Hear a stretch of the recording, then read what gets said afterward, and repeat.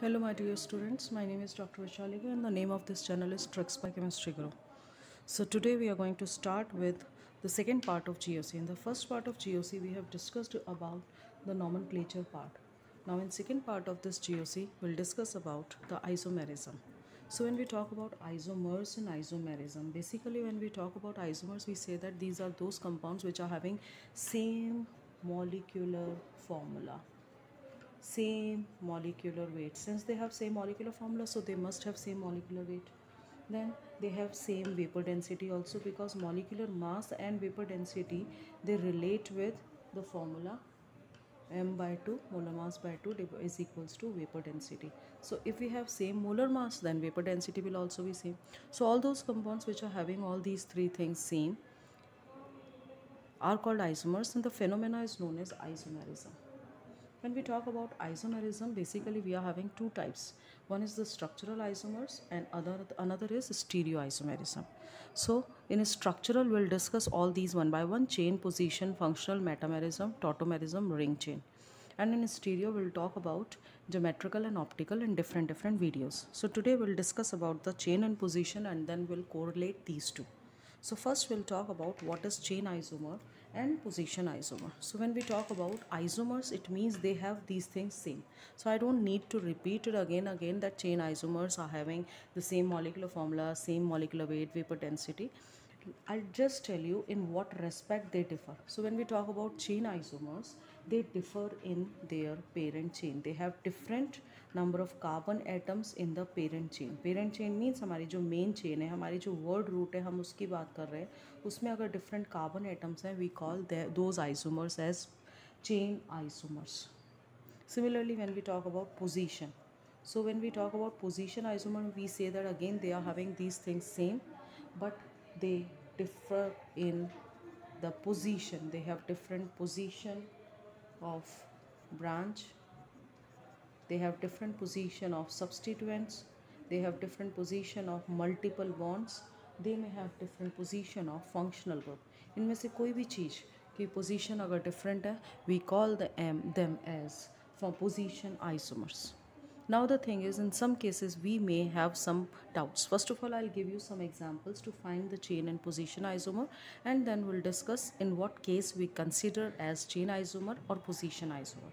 Suppose we can find in any of the compound as chain isomer and position isomer both then the priority order would be that chain isomer will be preferred over position isomers. तो बच्चों ये आपको ध्यान रखना है अगर कहीं priority आ रही है तो चेन आइसोमर्स जो हैं पोजीशन आइसोमर को वेरी करते हैं और उनकी प्रायोरिटी डिसाइड होती है।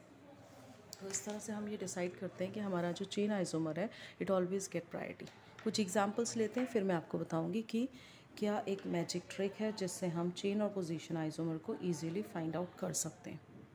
सो मैजिक ट्रिक में हमारे पास एक नंबर होता है एक्स और Y what is x? X is the number of carbon atoms in the main parent chain. Number of carbon in parent chain. ठीक है? And what is Y what is Y Y is the number of branched carbon atom that means in branching how many carbon atoms do we have that is Y now the thing is अगर X Y same है if X Y is same for that means two isomers if X and Y are same for both the isomers then we have position isomers if X Y is different for both the isomers or more than one isomers then we call it as chain isomer. So let us discuss what uh, do we mean by this magic trick. Let us consider an example. An example is say i'm having an example as 1 2 3 4 5 on second position we have chloro. And let us take one isomer of it and on third position we have chloro. Let us find x in this case. So i'm having 1 2 3 4 and 5 there are 5 carbon atoms so x would be 5 then we'll talk about uh, y. In side chain or substituent there is no carbon atom and thus we'll write y as 0 similarly when we reach to this compound we are having again 5 carbon atoms so x would be 5 when we talk about the number of carbon atoms in substituent there is no carbon atom so y would be 0 so we see that xy comes out to be 5 and 0 and xy comes out to be 5 and 0. So if they are same, we call them as position isomers. अब आप कहेंगे तो देखने से ही पता चल रहा है two chloro and three chloro तो यहाँ पे हमारे पास जब पोजीशन आइसोमर्स है तो हम इनको आराम से इस मेथड से भी फाइंड आउट कर सकते हैं लेट अस कंसिडर एक और example so that it would be more clear to you all suppose I am taking again five member chain और मैंने यहाँ सी एच ओ यहाँ बनाया and again I'm taking 5 membered ring and I placed CHO here. Okay let us find X and Y तो आप पहले बताएँ कि इसमें चेन आइसोमर है पोजीशन आइसोमर है। आप सोच के रखें फिर at the end will discuss so X कितना है? वन लॉन्गेस्ट चेन हमारी ये one two three four five longest chain including the functional group अगर आप आई के रूल्स जानते हैं तो। नहीं तो आई की पूरी प्ले है आप उसे एक बार देखिए आपको समझ में आ जाएगा। और ये हमारा है ब्रांच सो so, एक्स हो गया टोटल फाइव ब्रांच में एक कार्बन है। सो so, ये हो गया हमारा five and one X Y हो गया हमारा फाइव एंड वन यहाँ पे आ जाते हैं। यहाँ से हम स्टार्ट करेंगे one two three four so X हो गया हमारा फोर और यहाँ पे आ जाइए ब्रांच में। ब्रांच में we have two carbon atoms in the Y so हमारे पास इसका हो गया four two X Y so these two are not same since these two are different and this we call them as chain isomer तो यहाँ ध्यान रखेंगे कि ये चेन आइसोमर है। इसी तरह से कुछ और example suppose I am having bromine in benzene ring at ortho position.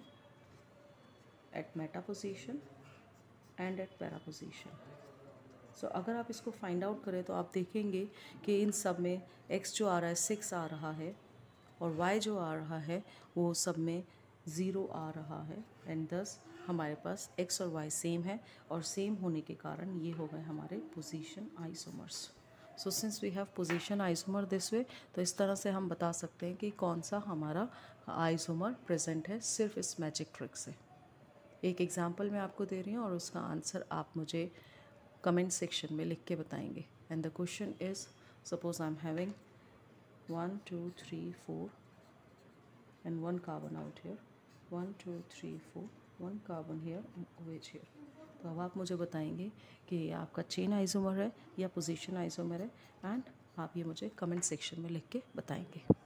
So for today for this video chain और पोजीशन नेक्स्ट वीडियो में हम आगे आइसोमर्स को कंसिडर करेंगे. Meanwhile do practice with these question if you like this video please click on like button and subscribe this channel thank you